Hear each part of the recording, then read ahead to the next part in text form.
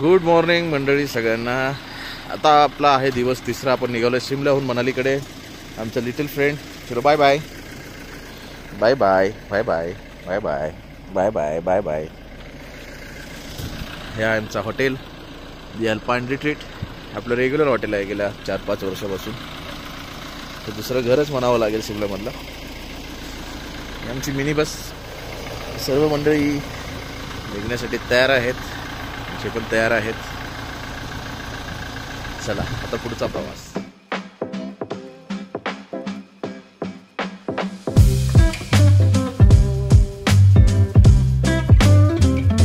Good morning सर्वांना. आम्ही आता निघालेलो आहोत मनालीच्या लोकल साईटसिंगला आमचा टेम्पो रेडी आहे. इथे आमची मंडळी आता निघालेली आहे साईटसिंगसाठी आज वातावरण जरा बरं आहे. ऊन आलेलं आहे चांगलं. काल रात्री मायनस वन होतं.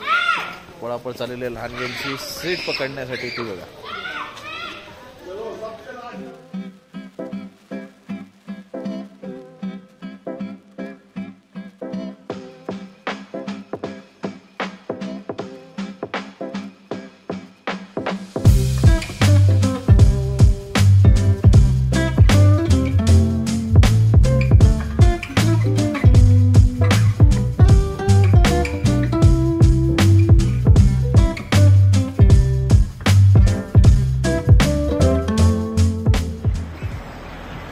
नमस्कार मंडळी मी हर्षद प्रमोद चिंचवळकर हर्ष हॉलिडेजमधून आणि आम्ही आता आहोत मनालीमध्ये. माझ्या मागे वाहते ती बियास नदी. मागे आहे ते बर्फाने भरलेले डोंगर. आणि छान ऊन आलंय. अगदी गॉगल घालावं लागलंय. पण हिमालयामध्ये आत्ताचं असलेलं वातावरण हे पुढे किंवा उद्या किंवा काही मिनिटांनंतर असेल याची काही गॅरंटी नाही. कारण आज रात्रीपासून सांगितलेलं आहे मनालीमध्ये स्नोफॉल आता आम्ही विदाऊट जॅकेट फिरतोय पण उद्या आम्हाला डबल जॅकेट घालून फिरावं लागणार आहे. तुम्ही कधी येत आहे मनालीत? तर हा आहे आता सध्याच्या मनालीचा व्ह्यू मनालीच्या इथून आपल्याला छान फ्रेश स्नोफॉल झालेले माउंटेन्स बघायला मिळत आहेत. आमची गाडी ते थांबलेली आहे. आमच्या मंडळींनी या ठिकाणी स्नोचे कपडे घेतलेले आहेत. आता आम्ही निघालेलो आहोत सोलंगवेलीला. सोलंगवेली आता इथून साधारण अजून बारा तेरा किलोमीटर आहे. छोटीशी ट्रॅफिक लागलेली आहे. कारण आता इथे मध्ये एक गाव लागतं गुलाबा नावाचं. तर त्याचा रस्ता थोडासा अरुंद आहे. त्याच्यामुळे थोडीशी ट्रॅफिक असते इथे. आणि आम्ही आज सर्व मनाली मनालीची सर्व लोकल साईटसिंग आम्ही आज करून घेणार आहोत. लोकल असेल किंवा बाहेर सवलंग व्हॅली असेल अटल टनल असेल अटल टनलला अजून जाऊन देतात की नाही माहीत नाही पण तिथे जाऊन आम्ही कन्फर्म करणार आहोत की आम्हाला अटल टनल क्रॉस करता येतं का किंवा अटल टनल पर्यंत जाता आहे का. आणि त्याच्यानंतर मग आम्ही हडिंबा मंदिर असेल वशिष्ठ कुंड असेल बुद्धिस्ट मॉनेस्ट्री असेल मॉल रोड ह्या सगळ्या गोष्टी आजच करणार. कारण आज जरी ऊन असलं तरी उद्या स्नोफॉल सांगितलेला आहे. आणि स्नोफॉलमध्ये साईट सीन शक्य नाही झालं. तर मग एक रूर लागतं की एवढ्या लांबून आपण काहीच बघितलं नाही. सो उद्या जर स्नोफॉल झालाच तरी आम्ही हॉटेलमध्ये एन्जॉय करू शकतो. आणि नाही झालाच तर आम्ही मॉल रोडला येऊ शकतो शॉपिंगसाठी किंवा अजून छोट्या मोठ्या काही साईट्स आम्ही करू शकतो. मनालीच्या मुख्य मार्केटपासून थोडंसं पुढे आल्यावरती आम्ही डंगरी म्हणजेच स्नोसाठी लागणारे जे कपडे भाड्याने मिळतात ते घेतले. त्यासोबत गंबूट देखील मिळाले. गंबूट ह्यासाठीच की बर्फामध्ये आपला पाय घसरू नये. सोलंगवेली येथे आल्यावर आम्हाला बर्फ अजिबात दिसला नाही. होते ते केवळ त्या ठिकाणी असणारे ॲडव्हेंचर स्पोर्ट्स ॲक्टिव्हिटीज पण मुख्य आकर्षण बर्फ असल्यामुळे आम्ही अटल टनलच्या जवळ जायचं ठरवलं. अटल टनल मागच्या काही आठवड्यापासून भरपूर बर्फवृष्टी झाल्यामुळे बंदच होता. पण आज सकाळीच नऊ वाजता अटल टनल काही तासांसाठी ओपन करण्यात आला होता. आणि ही सुवर्णसंधी आमच्या मंडळीसाठी मला अजिबात सोडायची नव्हती. आणि मी ड्रायव्हरसोबत एक खास डील केली आणि सर्व मंडळींना घेऊन गेलो अटल टनल क्रॉस करून लाहोल व्हॅलीमध्ये सगळ्यांनी खूप एन्जॉय केलं. किती एन्जॉय केलं हे आता आपण पुढे व्हिडिओमध्ये बघणारच आहोत. तर आम्ही आता अटल टनल क्रॉस केलेला आहे. हा अटल टनलचा समोर साऊथ पोल आहे. सॉरी नॉर्थ पोल आहे. साऊथ पोलमध्ये आम्ही आत आलो. आणि हा आहे लाहोल व्हॅलीचा परिसर. व्हेजिटेशन पूर्णपणे कमी झालेलं आहे. कारण इकडे ऑक्सिजन लेवल थोडीशी कमी आहे. त्याच्यामुळे इथे व्हेजिटेशन नाहीये. आता आम्ही अकरा साडे अकरा हजार फुटावर आहोत. समोर चंद्रभागा नदीचं पात्र आहे. आणि आहे बर्फ. वा आता या बर्फामध्ये खायची पहाड मागी. बर्फ बघा. फार सुंदर. आमची मंडळी इथे फोटोग्राफी करतायत सगळे. एन्जॉय वातावरण एवढं फार छान आहे. बर्फ आहे या ठिकाणी पण ऊन असल्यामुळे हे बघा जॅकेट काढून ठेवलेलं आहे. साधारण सहा सातच्या आसपास आता इकडे टेम्परेचर आहे. श्वासाच्या हालचालीमध्ये थोडासा फरक पडला आहे कारण आम्ही आता साडे अकराचा फुटावर आहोत. त्या ठिकाणी ऑक्सिजन थोडस कमी आहे. लगेच जाणवत. हा. जेव्हा बर्फाच्या जवळ जाईन तेव्हा जॅकेट घालावं लागेल पण आता ऊन असल्यामुळे तशी जॅकेटची काही गरज भासत नाहीये. हा. पैसा वसूल. मंडळी अगदी कालपर्यंत अटल टनल बंद होता संध्याकाळपर्यंत. आणि दोन दिवस जरा चांगलं वातावरण असल्यामुळे अटल टनलच्या इथला बर्फ हा थोडा कमी झाला आणि रस्ता ऍक्सेसेबल झाला आणि सगळ्यांना अटल टनल पार करून या लाहोल व्हॅलीमध्ये येता येतं आणि आज सकाळीच नऊ वाजता अटल टनल सुरू झाला. आणि आम्ही अकरा वाजता अटल टनल क्रॉस करून आता लाहोल व्हॅलीमध्ये आलोय. हा चंद्रभागा नदीवरचा पूल आहे. हाच तो डोंगर आहे. या डोंगराच्या आतून हा पूर्ण अटल टनल येतोय. आणि इथे सर्वच पर्यटक एन्जॉय करतात. हा जो समोर रस्ता आहे हा रस्ता स्पिटीकडे जातो. आणि या ब्रिजच्या पलीकडून जो समोर सर- समोर जो रस्ता जातोय तो लेह लडाखकडे जातो.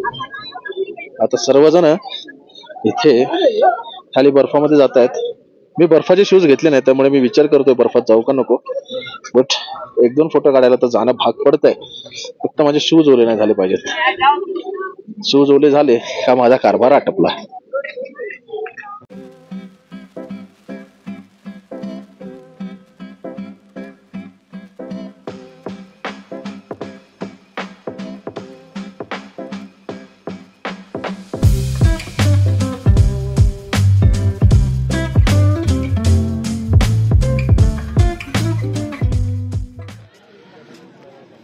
तासभर इथे बर्फात खेळून झाल्यानंतर आता मंडळी आणि आम्ही निघालेलो आहोत. पुन्हा एकदा मनालीच्या दिशेने. हा लाहोर व्हॅलीचा परिसर. इथे व्हेजिटेशन म्हणजे झाडं नाहीत. छोटी छोटी खुर्ट आहेत. कारण इथे ऑक्सिजन कमी आहे. लेवल कमी आहे ऑक्सिजनची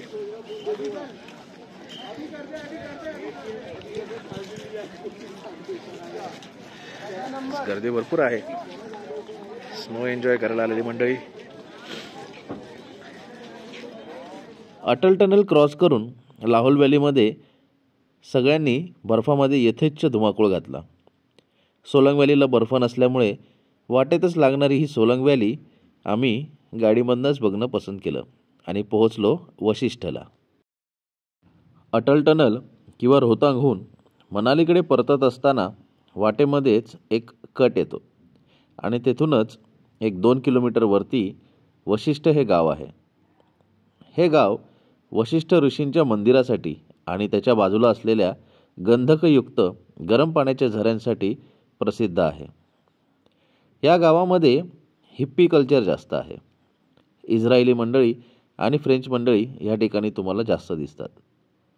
हिप्पी कल्चर असल्यामुळे या ठिकाणी असणारे रेस्टॉरंट्स किंवा शॉपिंगची दुकानं ही देखील या हिप्पी कल्चरला साजेशी अशीच आहे. या गावातील वशिष्ठ ऋषींचं हे मंदिर अक्रोडच्या लाकडापासून अगदी नक्षीदार काम करून बनवलेलं आहे. आम्ही गेलो तेव्हा मंदिर बंद होतं. पुढच्या पाच मिनिटात ते उघडणार होतं. त्यामुळे आम्ही थोडा वेळ वाट पाहिली आणि मंदिरामध्ये श्री वशिष्ठ ऋषींचे दर्शन घेतले. मंदिराच्या बाजूला श्रीरामाचे मंदिर आहे आणि त्याच्याच खाली श्री महादेवाचे मंदिर देखील आहे. एकूणच काय?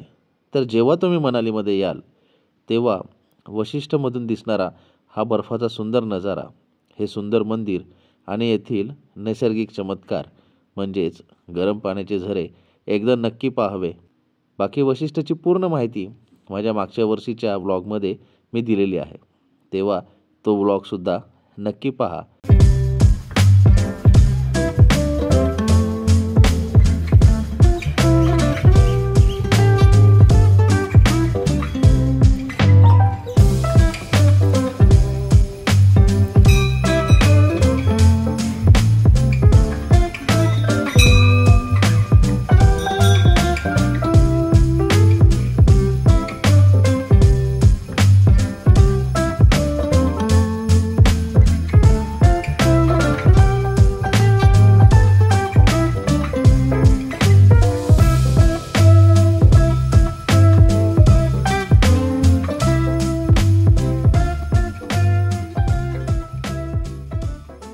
चाललो आहे हडिंबा मंदिरला. ते द मराठा रेडीमेड शॉप कोणाचं असेल तर आपल्या भावाचं अजितरावांचं हे बघा. द मराठा रेडीमेड शॉप आपल्या मागच्या मनालीच्या ब्लॉगमध्ये आपण भेटला असेलच. आज्या येले का? हाय कर की. याला भेटला असेलच तुम्ही मागच्या ब्लॉगमध्ये चांगलं वाटतं. बांधून दे ना आजी. असं मनाली हडिंबा मंदिरच्या अगोदरचा परिसर जिथे पार्किंग आहे ते समोर जे देवदाराचं जे जंगल दिसतंय तिथेच आहे हडिंबा माता मंदिर. हे बघा समोर मंदिर आहे आणि एवढ्याच पायर आहे गेल ना तुम्हाला? याक बघा याक. याकच्या नाकातून पण वाफ येते. कसं आहे? बरं आहे ना? ह्या हडिंबाच्या पायऱ्या सुरू झाल्यात. लॉगरच्या पार्किंगमधून येताना एक पंधरा वीस पायऱ्या लागतात. आणि आपण मंदिरात पोहोचतो. अरे वा तू सगळ्यात फर्स्ट आली. दिसलं मंदिर? ते बघ. हा. ठीक आहे पोहोचलो आपण. समोरच आहे. चालतं चालतं तर आता आमचं हडिंबा मंदिरचं दर्शन झालेलं आहे. हा हडिंबा माता मंदिराचा परिसर आहे. इथे कोणीही म्हणणार नाही की ऑफ सीझन आहे. एवढे मोठ्या प्रमाणावरती इथे टुरिस्ट आलेले आहेत. त्यामुळे तुम्ही आधीचे जर माझे काही मनालीचे ब्लॉग बघितले असतील तर एवढी गर्दी तुम्हाला कधी व्हिडिओमध्ये दिसली नसेल. पण यावेळेला मात्र गर्दी आहे. बघा. एवढी मंडळी आहेत. सुप्रभात मंडळी आज सकाळची पहिली साईट सिंग आहे बुद्धिस्ट टेम्पल. पाऊस चालू झाला आहे आम्ही. छत्री घेतली आहे बघा. वातावरण पूर्ण बदललं आहे काल ऊन होतं तर आज पूर्ण फॉग आहे. हे बुद्धिस्ट मोनेस्ट्रीकडे जाणारा रस्ता. बघा पूर्ण फॉग आहे. आज स्नोफॉल सांगितलेला आहे. पाहूया. इथे कितपत स्नोफॉल मिळतो ते. निंगमा. निंगमा म्हणजे तिब्बती बौद्ध धर्मामधील पाच प्रमुख शाखांपैकी एक शाखा. निंगमाचा अर्थ होतो प्राचीन.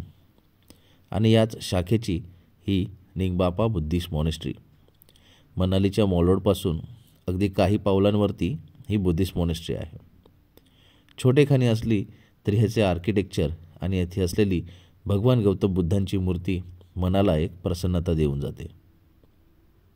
पंधरा ते वीस मिनटामध्ये पूर्ण होईल अशी ही छोटीशी पण तितकीच सुंदर अशी साईटसिंग जेव्हा आपण मनालीमध्ये येतो त्यावेळेस एकदा नक्की व्हिजिट करावी अशी ही निंगमापा मॉनेस्ट्री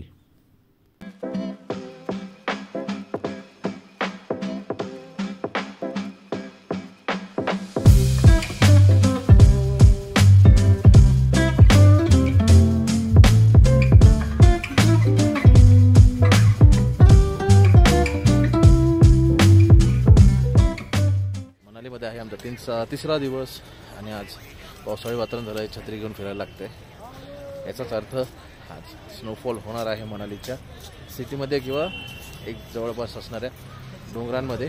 आता आम्ही आलो आहे वनविहारमध्ये छोटंसं गार्डन आहे. आम्ही काल साईटसिंग पूर्णपणे करून घेतली होती. कारण जर स्नोफॉल झाला हेवी तर साईटसिंग होणार नाही. साईटसिंग तर आम्ही करून घेतली होती. आणि आता दोनच छोट्या साईटसिंग ठेवल्या होत्या. एक म्हणजे बुद्धिस्ट टेम्पल आणि एक हे वनविहार. समोरासमोरच आहे फक्त रोड क्रॉस करून यायचं आहे कसं आहे?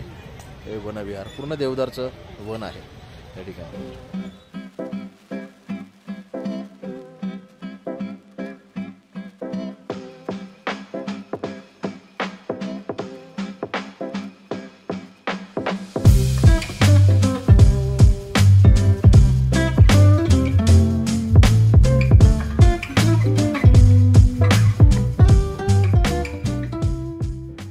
म्हणजे हा आहे वनविहार. समोरचा रस्ता दिसतोय तो दिल्ली चंदीगडकडे जाणारा मेन रस्ता. आणि लेफ्टकडे ह्या रस्त्या या साईडला गेलं तर दिल्ली सहाशे किलोमीटर. आणि ते मॉल रोड शंभर दोनशे मीटरवरती म्हणजे मॉल रोडला लागूनच वनविहार आहे. आणि पलीकडच्या बाजूला ती बुद्धिस्ट मोनेस्ट्री जी आता आपण नुकतंच व्हिडिओमध्ये बघितलं. वनविहार हे बेसिकली एक प्लेग्राऊंड आहे. लहान मुलांना इथे जास्त अट्रॅक्शन आहे. देवदारचं वन असल्यामुळे गारवा छान आहे. आणि ही उंच उंच झाडं या ठिकाणी असल्यामुळे जो हलका पाऊस आहे तो लागत नाही त्याच्यामुळे छत्री बंद करून ठेवलेली आहे. लहान मुलांना सिसॉ आहे त्याच्यानंतर घसरगुंडी आहे. हे बघा इकडे एक बोटिंगसुद्धा आहे कारण इकडे एक छोटासा लेक आहे हे बघा समोर. छोटा पाऊंड आहे. आणि बरोबर ते पलीकडे त्या टोकावर मनालीचा बायपास आहे. ती बघा ती गाडी चालली आहे. गाड्या जाताना दिसत. तर मनालीचा बायपास आहे. हे बघा. जो काही वर्षांपूर्वी सुरू झाला नाहीतर मग मॉल रोडला अगदी लागूनच आपल्याला या ठिकाणी यायला लागायचं. आणि वनविहारला लागून बियासचं पात्र होतं. आता तिकडे बायपास आहे. आमची मंडळी इथे एन्जॉय करतायत. Children play area exit gate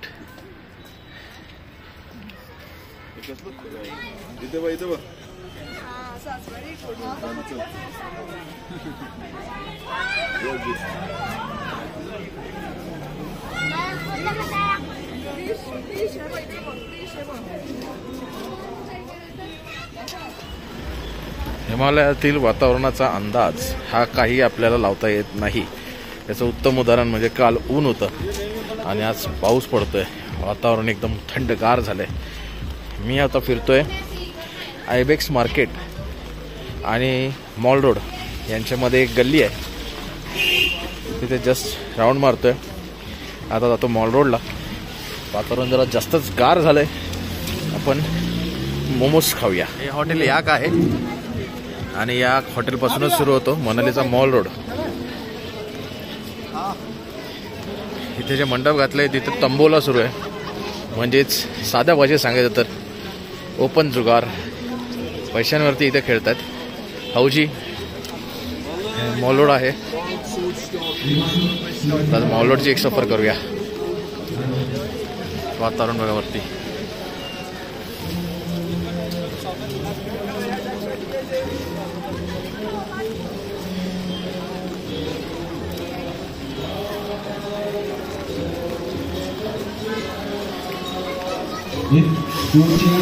यहाँ से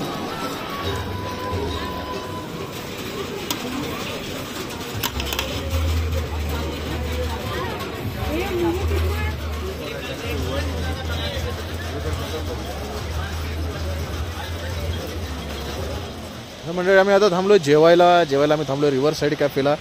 समोरून वाहते ती बियास नदीचा पात्र. आणि समोरून आता पाऊस पडतोय त्याच्यामुळे काही झरे वाहून येत आहेत. पलीकडची जी जागा आहे ह्याला बी बँक म्हणतात नगर रोड. आणि अशा प्रकारे छान असा रिव्हर साईड कॅफे आहे. हे जे झाड आहे हे सफरचंदाचं झाड आहे ॲपल. वाईनच्या ग्लाससारखं दिसतं. इथे सुद्धा सिटिंग आहे पण पाऊस असल्यामुळे आम्ही आतमध्ये बसतोय. आतमध्ये सिटिंग आहे इथे वॉशरूम्स वगैरे आहेत. आतमध्ये लाइट म्युझिक आपण लावू शकतो. टेबल टेनिस आहे त्या ठिकाणी. एकंदरच हॅपनिंग प्लेस आहे. तर आता आम्ही निघालो आहोत मनाली चंदीगडकडे सगळ्यांनी एन्जॉय केलं ना मनाली? रात्री बर्फ सुद्धा पडलेला आहे. मनालीने तिचे सगळी रूपं दाखवलेली आहेत. आणि आता आम्ही पुन्हा डाऊन म्हणजे पंजाबकडे निघालेलो आहोत. मनालीमध्ये आमची तिसरी रात्र होती. तेव्हा रात्री बारा वाजल्यापासूनच स्नोफॉल सुरू झाला होता. सकाळी वरपर्यंत आमची टेम्पो ट्रॅव्हलर येईल की नाही या टेन्शनमध्ये झोपलो. सकाळी उठून पाहिलं तर बर्फ फारसा काही पडला नव्हता. आजूबाजूला झाडांवरती तेवढा थोडा बहुत दिसत होता.